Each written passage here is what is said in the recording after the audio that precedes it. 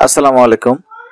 Dhaka medical college ঢাকায় রাজস্ব খাতে স্থায়ী পদে নিম্নোক্ত শূন্য পদে নিয়োগের লক্ষ্যে অস্থায়ী ভিত্তিতে প্রকৃত বাংলাদেশের স্থায়ী নাগরিকদের নিকট হতে নিম্নলিখিত শিক্ষাগত যোগ্যতা ও শর্ত সাপেক্ষে DMC dot Teletalk dot com dot BD এই ওয়েবসাইটে অনলাইনে দরখাস্ত আহ্বান করা যাচ্ছে।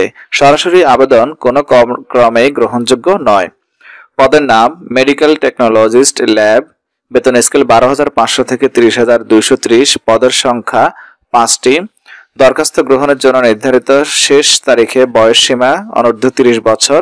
শিক্ষাগত যোগ্যতা, কোনো স্বীকৃত ইনস্টিটিউট হতে মেডিকেল টেকনোলজি ল্যাবে ডিপ্লোমা ডিগ্রিধারী হতে হবে। এই পদে সকল জেলার প্রার্থীরা আবেদন করতে পারবেন। ষাট মুদ্রাক্ষরিক কাম কম্পিউটার অপারেটর, বেতন দশ হাজার দুইশো থেকে চব্বিশ হাজার ছয়শো আশি, পদ সংখ্যা একটি। বয়স সর্বোচ্চ তিরিশ বছর, তবে বিভাগীয় প্রার্থীদের ক্ষেত্রে চল্লিশ বছর পর্যন্ত শিথিলযোগ্য। শিক্ষাগত যোগ্যতা, কোন স্বীকৃত বিশ্ববিদ্যালয় হতে অনন্য দ্বিতীয় শ্রেণি বা সমমানের সিজিপিতে স্নাতক বা সমমানের ডিগ্রি থাকতে হবে। কম্পিউটার ব্যবহারের দক্ষতা এবং computer word processing, email, fax, machine ইত্যাদি চালনায় দক্ষতা ও অভিজ্ঞতা থাকতে হবে। ষাট লিপি বাংলায় প্রতি মিনিটের সর্বনিম্ন গতি ইংরেজি সত্তর শব্দ এবং বাংলায় পঁয়তাল্লিশ শব্দ। কম্পিউটার মুদ্রাক্ষরের সর্বনিম্ন গতি প্রতি মিনিটে ইংরেজি তিরিশ শব্দ এবং বাংলায় পঁচিশ শব্দ। অফিস সহকারী কাম কম্পিউটার মুদ্রাক্ষরিক নয় হাজার তিনশো থেকে বাইশ হাজার চারশো নব্বই পদ সংখ্যা বারোটি, তিরিশ বছর সর্বোচ্চ বিভাগীয়দের ক্ষেত্রে চল্লিশ বছর পর্যন্ত শিথিলযোগ্য। কোন স্বীকৃত বোর্ড হতে অনন্য দ্বিতীয় বিভাগ বা জিপিএতে উচ্চ মাধ্যমিক সার্টিফিকেট বা সমমানের পরীক্ষায় উত্তীর্ণ। কম্পিউটার ব্যবহারের দক্ষতা থাকতে হবে। এখানে একটা জিনিস খেয়াল করুন, এখানে কিছু জেলার নাম উল্লেখ করে দেওয়া হয়েছে। এই জেলাগুলোর প্রার্থীদের আবেদন করা প্রয়োজন নেই। যেমন টাঙ্গাইল, মানিকগঞ্জ, গাজীপুর, রাজবাড়ী, শরীয়তপুর, ব্রাহ্মণবাড়িয়া, কুমিল্লা, চাঁদপুর, নোয়াখালী, মাগুরা, নওগাঁ, ঝালকাঠি, বরিশাল, পটুয়াখালী, দিনাজপুর, ময়মনসিংহ, জামালপুর জেলার প্রার্থীদের আবেদন করার প্রয়োজন নেই। তবে এতিম ও শারীরিক প্রতিবন্ধী যাদের কোটা রয়েছে, তারা যে কোনো জেলা থেকেই আবেদন করতে পারবেন। কেশিয়ার পদ সংখ্যা একটি, বেতন নয় হাজার তিনশো থেকে বাইশ হাজার চারশো নব্বই। অর্ধ তিরিশ বছর কোন স্বীকৃত বোর্ড হতে উচ্চ মাধ্যমিক সার্টিফিকেট বা সমমানের পরীক্ষায় উত্তীর্ণ। কম্পিউটার চালনা দক্ষতা থাকতে হবে। গাড়ি চালক, বেতন নয় হাজার সাতশো থেকে তেইশ হাজার চারশো নব্বই, পদ সংখ্যা দুইটি, অনূর্ধ্ব তিরিশ বছর কোন স্বীকৃত বোর্ড হতে জুনিয়র স্কুল সার্টিফিকেট বা সমমানের পরীক্ষায় উত্তীর্ণ। গ্রেড পনেরো এর ক্ষেত্রে ভারী যানবাহন চালানোর বৈধ ভারী ড্রাইভিং লাইসেন্স লাইসেন্সধারী হতে হবে। গ্রেড ষোলো এর ক্ষেত্রে হালকা যানবাহন চালানোর বৈধ হালকা ড্রাইভিং লাইসেন্স লাইসেন্সধারী হতে হবে। গাড়ি চালানোর বাস্তব অভিজ্ঞতা সম্পন্ন প্রার্থীকে অগ্রাধিকার দেয়া হবে। কার্পেন্টার বেতন স্কেল আট হাজার আটশো থেকে একুশ হাজার তিনশো দশ, পদ সংখ্যা একটি, অনূর্ধ্ব ত্রিশ বছর। কোন স্বীকৃত বোর্ড হতে মাধ্যমিক স্কুল সার্টিফিকেট অর্থাৎ এসএসসি পাস সংশ্লিষ্ট কাজে বাস্তব অভিজ্ঞতা থাকতে হবে। ল্যাবরেটরি অ্যাটেন্ডেন্ট আট হাজার আটশো থেকে একুশ হাজার তিনশো দশ পদ সংখ্যা দুইটি, অনূর্ধ্ব তিরিশ বছর। স্বীকৃত বোর্ড হতে মাধ্যমিক স্কুল সার্টিফিকেট পাস। অফিস সহায়ক, আট হাজার দুইশো পঞ্চাশ থেকে বিশ হাজার দশ টাকা পর্যন্ত। পদ সংখ্যা আটাত্তরটি, অনূর্ধ্ব তিরিশ বছর। কোন স্বীকৃত বোর্ড হতে মাধ্যমিক স্কুল সার্টিফিকেট বা সমমানের পরীক্ষায় উত্তীর্ণ। এখানে আবার কিছু জেলার উল্লেখ করে দেওয়া হয়েছে, যেমন কুমিল্লা, চাঁদপুর, মাগুরা, বরিশাল জেলার প্রার্থীদের আবেদন করার প্রয়োজন নেই। খেয়াল ভাগে ভাগে দেওয়া হয়েছে এই যে পদগুলো রয়েছে, এই পদের জন্য এই জেলাগুলো প্রযোজ্য, এই জেলাগুলোর আবেদন করার প্রয়োজন নেই। তবে সকল জেলা থেকেই এতিম ও শারীরিক প্রতিবন্ধী আবেদন করতে পারবেন। আবার এখানে দুই থেকে পাঁচ পর্যন্ত এই জেলাগুলো আবেদন করতে পারবে না, কিন্তু এক নং পদে সকল জেলা প্রার্থী আবেদন করতে পারবেন। এই বিষয়টা খেয়াল রাখবেন। সাতাশ এক দুই হাজার বাইশ তারিখে বয়স আঠারো থেকে তিরিশ বছরের মধ্যে হতে হবে। শারীরিক প্রতিবন্ধী এবং মুক্তিযোদ্ধার পুত্র কন্যাদের ক্ষেত্রে, অনন বা নাতি নাতির ক্ষেত্রে সর্বোচ্চ বত্রিশ বছর পর্যন্ত গ্রহণযোগ্য। ওয়েবসাইট হচ্ছে DMC dot Teletalk dot com dot BD website থেকে আবেদন করতে হবে। আবেদন শুরু হবে সাতাশ জানুয়ারি সকাল দশটা থেকে এবং শেষ হবে ছাব্বিশ ফেব্রুয়ারি দুই হাজার বাইশ তারিখ বিকেল পাঁচটায়। এই সময়ের মধ্যে আপনাকে অনলাইনে আবেদন করতে হবে। অনলাইনে আবেদন করার পরবর্তী বাহাত্তর ঘণ্টার মধ্যে আপনাকে এস এম এস এ আবেদনের যে ফি সেই ফিটা পেমেন্ট করতে হবে শুধুমাত্র টেলিটক সিম দিয়ে।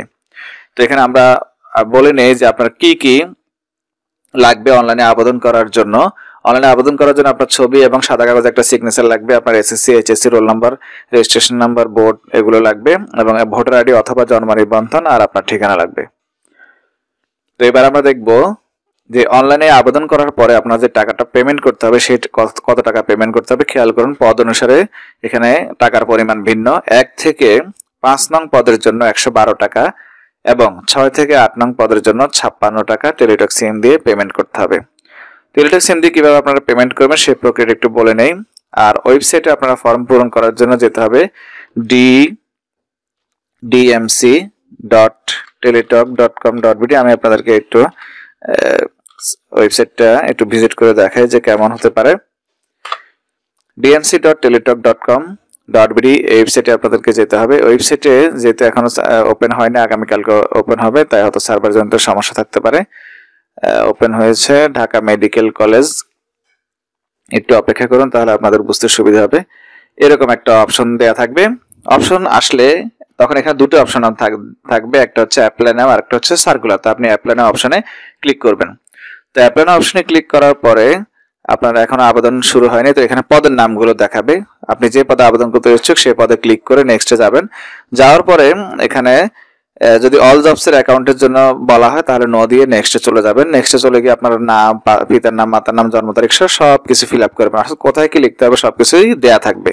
সেগুলো ফিল আপ করে ছবি এবং সিগনেচার আপলোড করে আপনি সাবমিট করুন। ছবির সাইজ হবে তিনশো গুণ তিনশো পিক্সেল সিগনেচারের সাইজ হবে তিনশো গুণ আশি পিক্সেল সাবমিট করার পরে একটা আবেদন কপি আসবে, সেই আবেদন কপিটা ডাউনলোড করে রাখবেন বা প্রিন্ট করে রাখবেন। সেখানে দেখবেন একটা ইউজার আইডি লেখা থাকবে। সেই ইউজার আইডি আপনি সংরক্ষণ করবেন, করার পরে মোবাইলে মেসেজ অপশনে যাবেন। আগে আপনাকে টেলিটকে টাকাটা রিচার্জ করে নিতে হবে। লিখতে হবে ডিএমসি স্পেস দিয়ে আবেদন করার শেষে যে ইউজার আইডিটা পাবেন, সেই ইউজার আইডিটা লিখতে হবে। খেয়াল করুন, ঠিক এরকম লিখতে হবে। লেখার পরে সেন্ড করতে হবে ওয়ান সিক্স ট্রিপল টু নম্বরে সেন্ড করতে হবে। সেন্ড করে রিপ্লাই মেসেজ আসবে, আপনার নাম, কত টাকা কাটবে, এবং আপনাকে একটা পিন নম্বর দেওয়া হবে। সেই পিন নম্বরটা নোট করবেন। নোট করে আবার মোবাইলে মেসেজ অপশনে যাবেন, অর্থাৎ দুইটা এস এম এস পাঠাতে হবে।